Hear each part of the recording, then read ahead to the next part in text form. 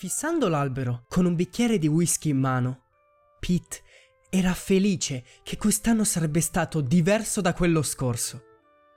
Stava passando ciò che potrebbe essere chiamato il periodo più strano della sua vita. Ma questa volta pensava veramente che sarebbe riuscito a lasciarselo alle spalle. Qual è il periodo migliore di rimettere a posto la propria vita se non Natale? Pete adorava quella festività più di chiunque altro. Per un certo verso l'anno pareva essere stato eterno, ma per un altro sembrava che fosse passato alla velocità della luce.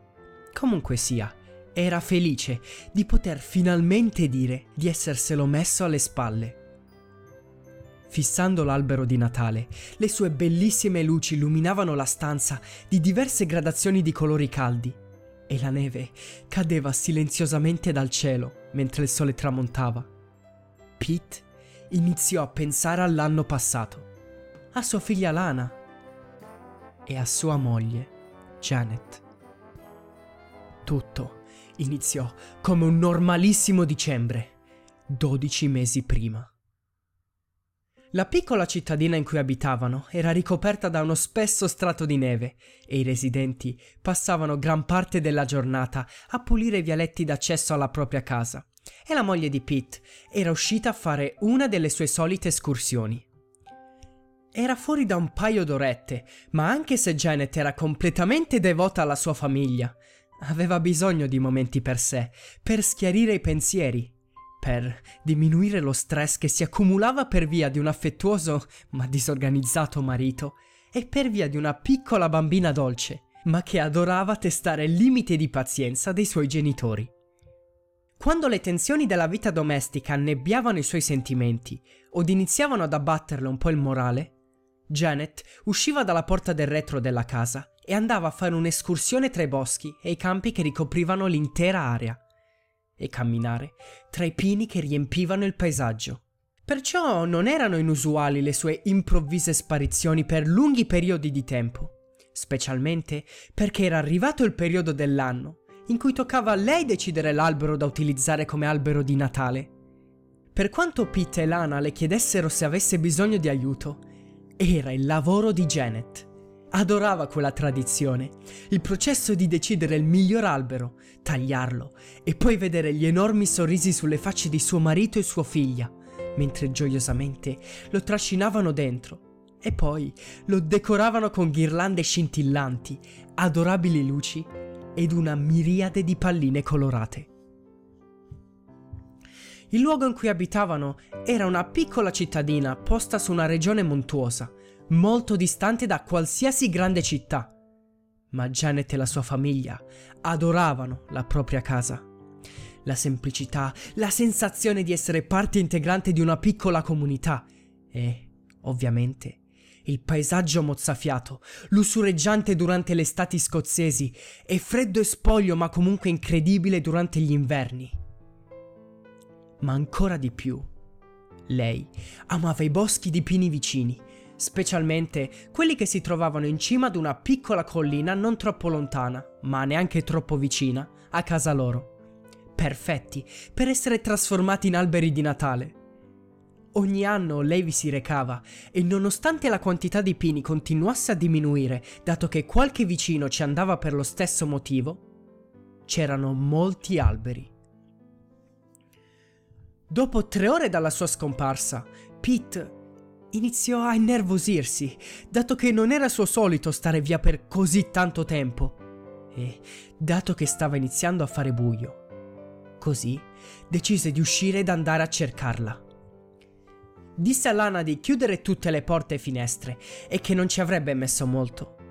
Lei rise mentre Pete le disse che probabilmente la mamma stava avendo problemi a trascinare un albero gigantesco più grande di qualsiasi albero avessero mai avuto per Natale. Pete amava vedere lo sguardo pieno di eccitazione negli occhi di Lana che spuntava in quel periodo dell'anno. Le disse anche di tener d'occhio la finestra di camera sua per vedere cosa avrebbero portato. Lei corse immediatamente su per le scale e si appostò davanti alla finestra, dimenticandosi di chiudere tutte le finestre e porte. Così Pete la richiamò giù, la salutò e poi uscì. Fissando quell'albero stupendo, Pete si ricordava quella notte come se fosse ieri. La neve poggiata sul suolo era fredda e si sbriciolava sotto i suoi passi. Piccoli fiocchi cadevano occasionalmente dal cielo ma le orme di Janet erano ancora visibili. Ma anche senza di esse, Pete sapeva dove fosse andata. La collina in cui Janet si recava ogni anno richiedeva 40 minuti a piedi per raggiungerla. Sceglieva solo i pini di quel posto, anzi, a volte ne sceglieva persino due. Di solito ne sceglieva uno alto due metri e uno alto la metà, se ne trovava uno di quelle dimensioni. A volte era difficile trovare alberi piccoli, dato che erano rari in quella zona. A tutti i cittadini piaceva mettere un piccolo albero nelle stanze dei propri figli. Quindi salivano sulla collina brandendo un'ascia e prendevano gli alberelli senza farsi troppi problemi. Per questo ce n'erano pochi. Una notte Lana disse che la rattristava il tagliare e uccidere alberelli per il solo scopo di abbellire la casa ma Pete le spiegò la tradizione e che era sicuro che sarebbero ricresciuti. Con il passare del tempo, lei smise di protestare e anzi iniziò a non vedere l'ora di averne uno tutto per sé. Se non si trovavano alberi piccoli, ne usavano uno sintetico. L'albero più grande veniva messo al centro del salotto e veniva abbellito con un vasto assortimento di palline, splendenti decorazioni e luci. L'altro, invece, veniva messo nella camera di lana e veniva colorato con una bomboletta spray per creare della finta neve. E poi ricoperto di bastoncini di zucchero e cioccolatini. Anche se le era stato detto molteplici volte che ne poteva prendere solo uno per notte. Occasionalmente Lana infrangeva questa regola e sperava che nessuno lo notasse. Janet la beccava sempre, ma non le diceva mai niente. Dopotutto, il periodo di Natale era quello migliore, nonostante fosse breve. Più Pete si avvicinava alla collina, più aumentava in lui la sensazione che, che qualcosa non quadrasse. Mentre saliva la collina, le precipitazioni nevose aumentarono di intensità e il cielo fu ricoperto dalle nuvole. Stando sulla umile vetta, notò che l'area era sommersa dal silenzio. L'unico suono appena percettibile era quello dei fiocchi di neve che si appoggiavano delicatamente sul terreno. Pete iniziò a seguire le orme, dato che se le precipitazioni sarebbero continuate, sarebbe stato impossibile trovare Janet. Presto arrivò il crepuscolo, colorando ogni cosa di un blu scuro. Il gelo iniziò a pungere le sue guance rossastre. Le orme proseguivano zigzag attraverso gli enormi pini, finalmente fermandosi dinanzi ad un incredibile e spesso albero. Un albero perfetto per il loro scopo. La dimensione era perfetta, quasi due metri e mezzo d'altezza. Un colorito verde acceso e uno spesso strato di rami e foglie che rendevano impossibile l'attraversamento della luce. Ma Janet non si vedeva da nessuna parte. E non, non c'erano più orme, terminavano lì. Lei era stata senza ombra di dubbio lì. Ma dove era andata? Questo mistero era allo stesso tempo interessante e preoccupante. Sembrava impossibile, ma eccole lì, le ultime due orme di Janet scolpite nel terreno. Ma la neve tutto intorno era vergine, indisturbata e privata di ogni segno di vita. Pareva che lei fosse scomparsa all'improvviso. Guardando la base dell'albero, Pete tastò un taglio profondo presente nel tronco. Non c'erano dubbi. Janet l'aveva colpito un paio di volte con la sua ascia. Poi, per qualche ignoto motivo, se n'era andata, oppure aveva deciso che quell'albero non andasse bene. Ma quest'ultima opzione era improbabile. Quell'albero era perfetto. Deve per forza essere quello il motivo. Deve aver cambiato albero. Forse. Forse per via del nevischio le sue orme erano state coperte. Sì. Sì, deve essere così. Pete sapeva però che era una pia illusione. Aveva vissuto lì da anni ormai e in tutto quel tempo non era mai successa una cosa del genere.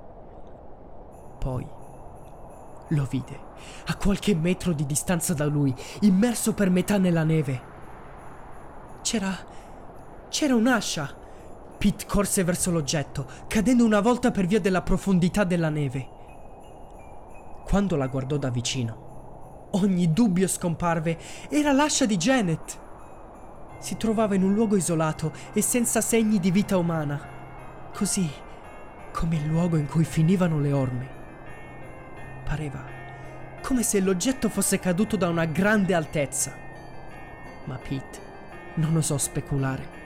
Il pensiero che Janet fosse ferita e si trovasse in un luogo sconosciuto fece aumentare la sua ansia e la sua preoccupazione. Urlò il nome di sua moglie ripetutamente, ma non ricevette nessuna risposta. Intanto l'oscurità avanzava lentamente.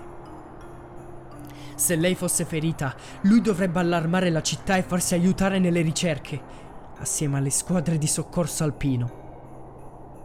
Non resisterebbe molto esposta a quel freddo pungente. Iniziò a provare un miscuglio di sentimenti, panico, preoccupazione, paura ed un dolore che si può trovare solo tramite l'amore.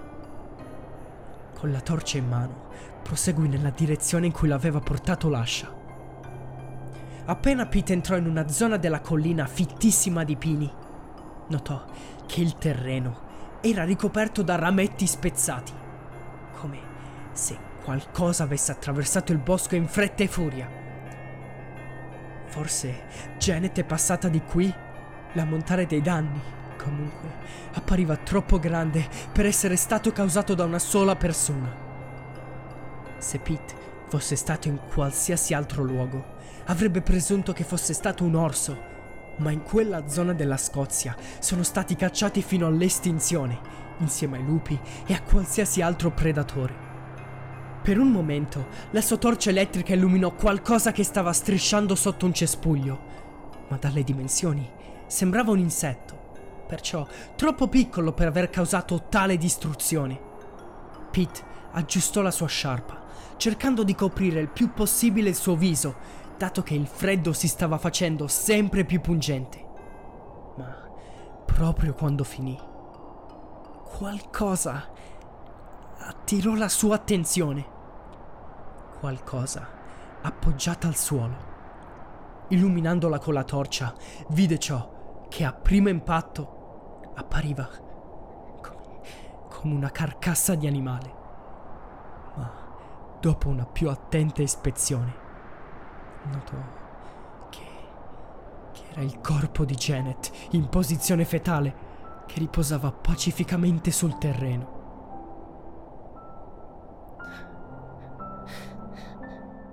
Un attacco di cuore, dissero. Un attacco di cuore. Ma Pete aveva visto il suo volto, aveva visto quegli, quegli occhi, un tempo pieni di gentilezza, ora pieni di terrore, freddi, spenti, neri dalla paura. Le sue mani erano serrate davanti a lei. Il patologo disse a Pete che era perfettamente normale essere in quella posizione quando si viene colpiti da un gigantesco attacco di cuore in temperature così basse. Così come quello sguardo. Anche se nel momento in cui il dottore gli disse questo, Pete notò un luccichio nei suoi occhi, come se anche il patologo fosse confuso da quello sguardo uno sguardo che, che Pete non si sarebbe mai dimenticato.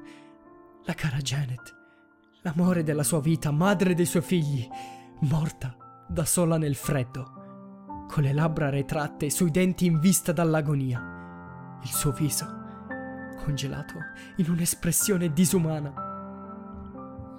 L'intera situazione lo devastò. Se non fosse stato per sua figlia Lana, per l'importanza della sua vita rispetto a quella di lui, Pete non sarebbe mai riuscito ad andare avanti. I dodici mesi passati erano stati pieni di situazioni che gli continuavano a riportare in mente quella dolorosa perdita. Come ogni lutto, la prima volta che Pete fece qualcosa che di solito faceva insieme a sua moglie, rendeva il dolore più intenso il primo Natale, il primo giorno di lavoro, il primo passaggio a scuola dato a sua figlia, la prima riunione di famiglia. Ogni sguardo di ogni persona era pieno di preoccupazioni, accompagnata dalla solita frase come riesci ad andare avanti? Deve essere stata davvero dura per te. E l'ancor più comune, se c'è qualcosa che posso fare, Aiutare sua figlia a superare la morte di sua madre era l'unica cosa che lo faceva svegliare la mattina. Ma finalmente era tutto finito. Avevano attraversato l'orrore, la negazione, le cene silenziose, i solitari pianti di disperazioni notturni, i compleanni vuoti e cupi. Avevano attraversato tutto questo. Tutte le prime esperienze erano terminate.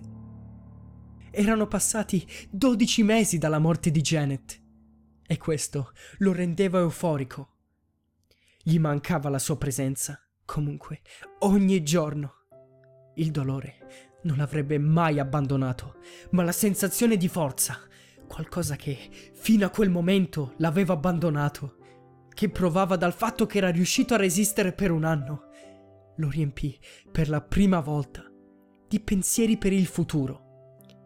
Finalmente capì che la vita va comunque avanti, anche se si è lasciato indietro le persone più importanti. E invece della sua bellissima figlia, la cara e gentile Lana, la sua empatia e la sua forza l'avevano lasciato di stucco, caratteristiche che nessuna della sua età dovrebbe possedere, ma che erano comunque benvenute. Quando lei si metteva a piangere, lui era sempre presente. Ed in più di un'occasione, quando lui era sdraiato sul letto matrimoniale di notte, a piangere, a fissare il vuoto, Lana lo svegliava e si sdraiava a fianco a lui, per poi piangere insieme, fino a che non si sarebbero addormentati entrambi. Lei era stata la sua ancora di salvezza e per ripagarla di tutti gli sforzi avrebbe dovuto passare il miglior Natale della sua vita. Pete aveva già preparato molte cose. Aveva speso una fortuna per ogni regalo immaginabile, aveva riempito la casa di ogni tipo di cibo e dolce che lei adorava. E entrambi i genitori di Janet sarebbero arrivati per trascorrere la cena di Natale con la loro adorata nipotina aveva anche organizzato una festa con pernottamento con gli amici di Lana per Santo Stefano. Una cosa che lei aveva sempre chiesto. Pete sapeva che un giorno l'avrebbe accontentata. Lei non ha mai chiesto tanto, ma quest'anno, questo Natale, sarebbe stato meglio di quanto lei riuscisse ad immaginare. La casa era perfetta ma mancava ancora una cosa, una cosa che Pete sognava di fare da quando, quella notte, vide il corpo di Janet. Lei aveva scelto quell'albero. Cascasse il mondo, quell'albero sarebbe stato nel loro salotto, adornato con qualsiasi tipo di ornamento natalizio. Quello era il suo scopo, il motivo della sua esistenza. Janet non aveva finito di tagliare quel dannato albero. Pete si sarebbe assicurato di completare tale opera.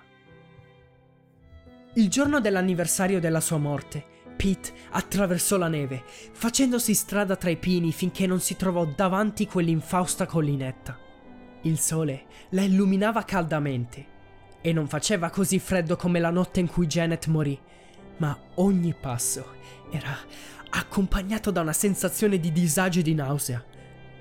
Ogni passo era un ricordo dell'anno passato e di quel terribile dolore. Marciò verso la vetta in cui assistì alla morte prematura di Janet. stando lì, davanti al posto in cui un tempo si trovava il corpo di sua moglie. Pete asciugò le lacrime che colavano dagli occhi e appoggiò una piccola statua di Babbo Natale sul terreno, sotterrandola nella neve. Quell'ornamento veniva sempre appeso sui rami dell'albero di Natale ed era il preferito di Janet. Gli pareva giusto che stesse con lei. Dopo altri minuti di viaggio, eccolo là, ancora in piedi, quel dannato albero, come se fosse assetato di vendetta. Pete tirò fuori dallo zaino l'ascia di Janet e corse verso l'albero. Colpì ripetutamente, esattamente dove Janet aveva iniziato l'anno precedente, rendendo il taglio più profondo con ogni colpo, applicando tutta la forza che possedeva. L'albero gemette e cigolò come se stesse provando dolore. Ma a Pete non importava. Quell'albero era l'ultimo ricordo della morte di Janet. Qualsiasi cosa accadde quella notte, accadde per via di quell'albero. Per quanto possa sembrare folle, per un momento ebbe senso. Ma poi il momento di lucidità fu oscurato dalla mondana realtà. Era morta per via di cause naturali. Con un ruggito di legno spezzato che cede per via del proprio peso, l'albero si inclinò e cadde a terra, sconfitto. Legando una corda attorno al tronco e poi usandone un'altra per piegare i rami verso l'interno, Pete trascinò quel, quel ricordo, quel simbolo di brutalità della natura, attraverso la neve, oltre l'erba, la chiaia ed infine la sua porta del retro. Era vittorioso.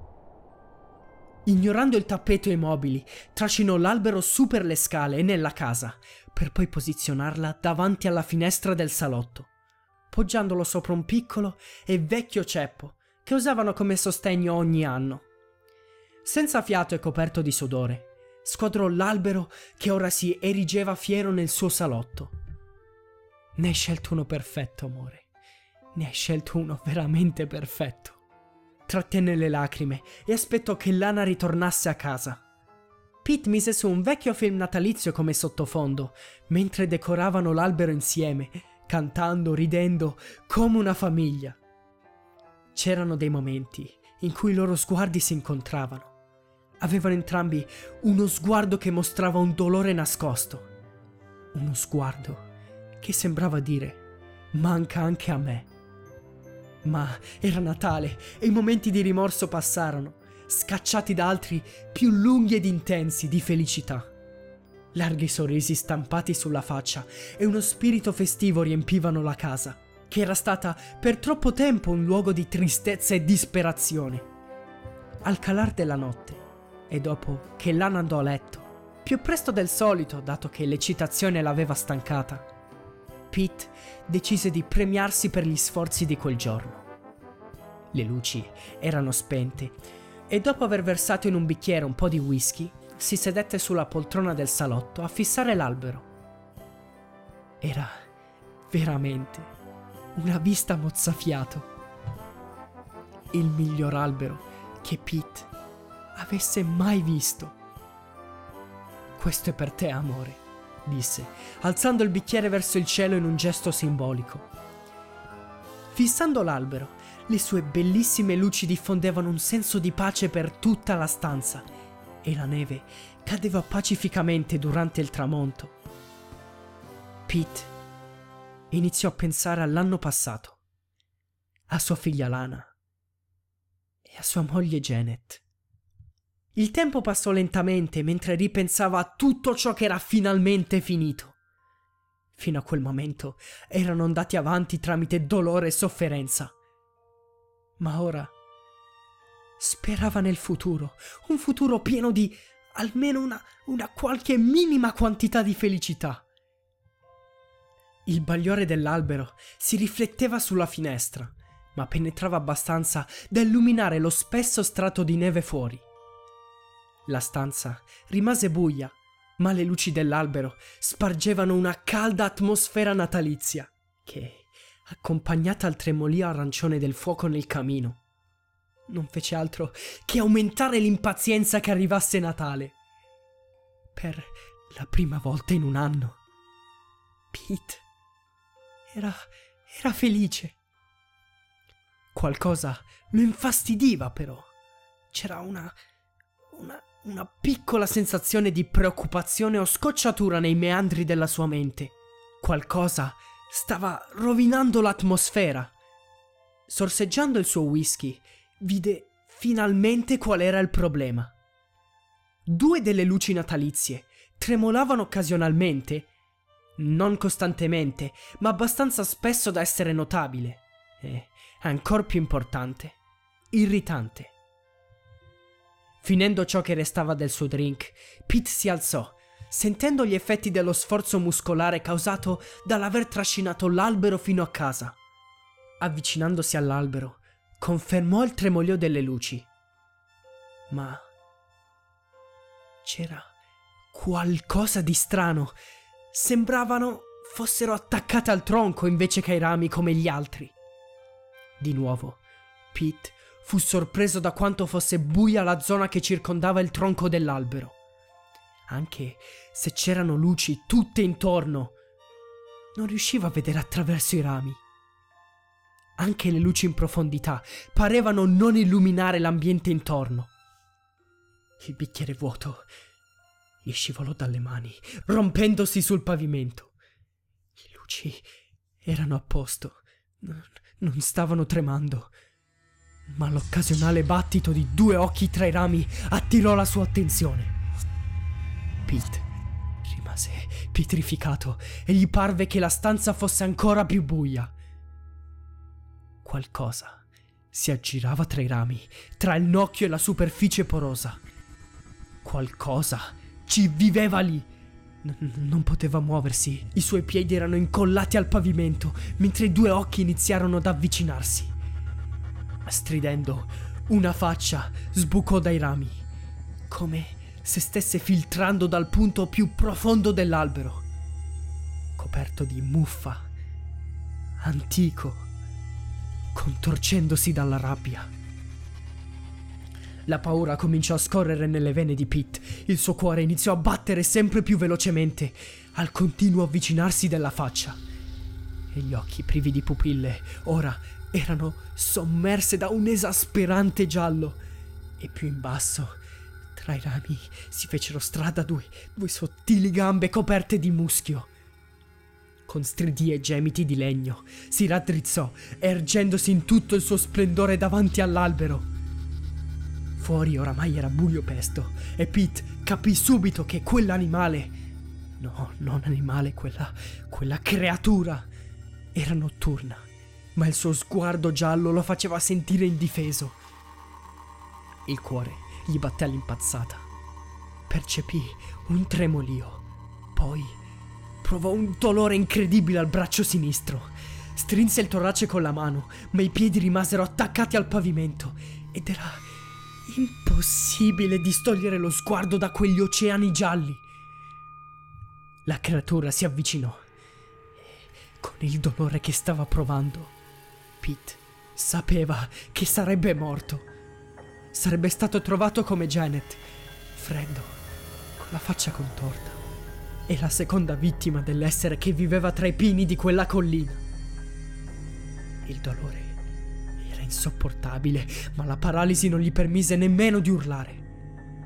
Con la poca luce rimasta proveniente dal caminetto che illuminava il suo volto, allungato in un lato e pulsante nell'altro, la caratteristica più vistosa era un buco grande e nero posto al centro del viso, al posto del naso e della bocca.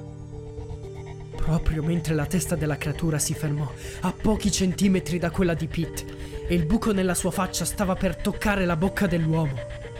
Un sogghigno involontario mise in mostra i denti di Pete. Poi, quell'unica parola, una parola così potente, così pura, che persino le intenzioni più malevoli vengono scacciate solo dall'udirla. Papà! con gli scricchioli del legno in sottofondo, lo pseudo gargoi voltò il suo penetrante sguardo giallo verso Lana. Eretta in piedi alla fine della rampa di scale, ancora nel suo pigiama, Il suo urlo riecheggiò nella notte. La creatura allungò le braccia con le dita tremolanti mentre faceva muovere le sue gambe coperte dal muschio, avvicinandosi in modo peculiare e con moto sbilanciato verso di lei. Lana rimase paralizzata dal suo sguardo e con ogni suo passo il suo viso si contorse sempre di più. Il dolore che provò al busto la stava portando sull'orlo dello svenimento. Per quanto intenso fosse il suo sguardo antico, era attento, così attento che notò Pete strisciare verso la cucina. I movimenti insicuri della creatura di legno la facevano sembrare più. più una marionetta che un vero essere vivente. E mentre si avvicinava verso Lana, mise le sue mani intorno alla sua faccia e la fissò con i suoi occhi spalancati e senza pupille.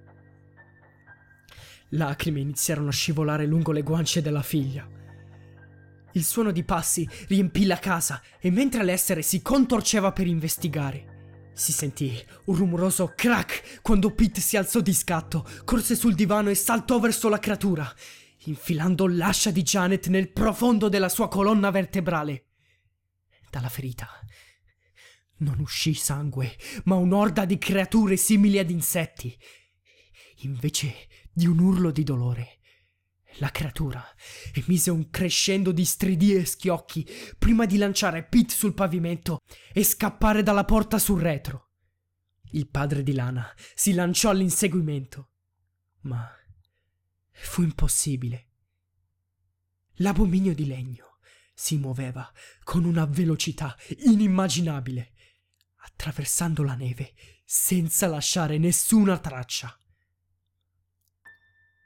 Dopo una visita all'ospedale più vicino, sia Lana che suo padre ricevettero una patente sanitaria pulita, ma non ritornarono in quella casa, piena di memorie di bei tempi passati, memorie di una madre, una moglie, un'anima gentile, di compleanni e matrimoni e, ovviamente, del periodo di Natale.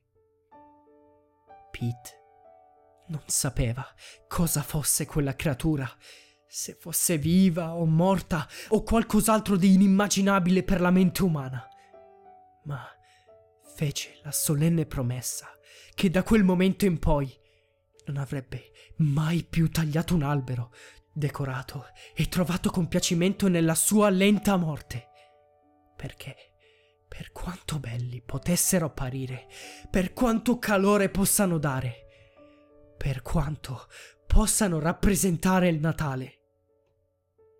Non si sa mai cosa potrebbe vivere al loro interno.